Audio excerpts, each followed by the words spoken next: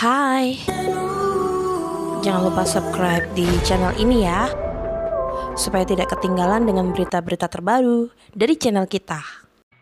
Langkah penemuan pusaka keris kuno era Majapahit dengan handle emas.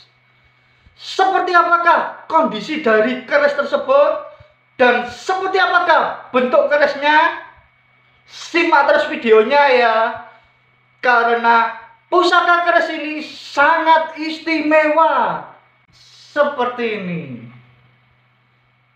Wah, dari sini saja sudah terlihat sangat indah ya. Handle-nya ini terlihat kan? Dan langkahnya lagi, handle-nya ini berukiran era kerajaan Majapahit. Coba saya dekatin ya, seperti ini. Ini saya review handle-nya dulu ya. Handle-nya ini full ukiran. Ini adalah ciri khas era kerajaan ya.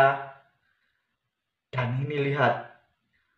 Ukirannya ini sangat rapi. Sangat indah. Dan ini untuk baliknya. Ini saya harus pelan-pelan ya. Wow. Keren sekali ya ini ya. Dan untuk kondisi handle-nya ini masih utuh. Gimana dengan kerisnya? Dan seperti inilah kerisnya. Ya. Jadi ini ditemukan dengan kondisi seperti ini kawan-kawan.